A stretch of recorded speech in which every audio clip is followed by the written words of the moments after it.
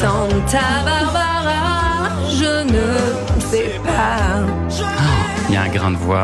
Il y a vraiment, vous Oui, c'est vrai Il y a aussi ce talent-là. Ah, vous avez oublié quand même, j'espère, pour, euh, pour ma carrière, que vous n'allez pas passer les Oui, j'ai traits de passé ça de côté. Je qu'on Vous vous, êtes l'avez gentil. déjà fait. Oui, oui, c'était fait, refait Mais fan maintenant. de Santa Barbara alors C'est au-delà, Thomas. Ah oui. Quand j'avais 14 ans, j'ai monté le fan club de Santa Barbara.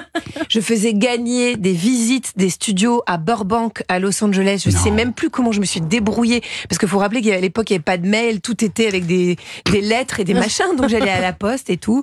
Est-ce que Euh, vous vous coiffiez comme les héroïnes de Santa Barbara avec énormément de volume J'essayais, d'être comme Robin Wright, donc comme Yeah. Kelly Capwell, sauf que là, ça ne se voit pas car je suis abrochée moi-même, mais j'ai les cheveux frisés, donc ils poussent naturellement vers le ciel que vers la terre.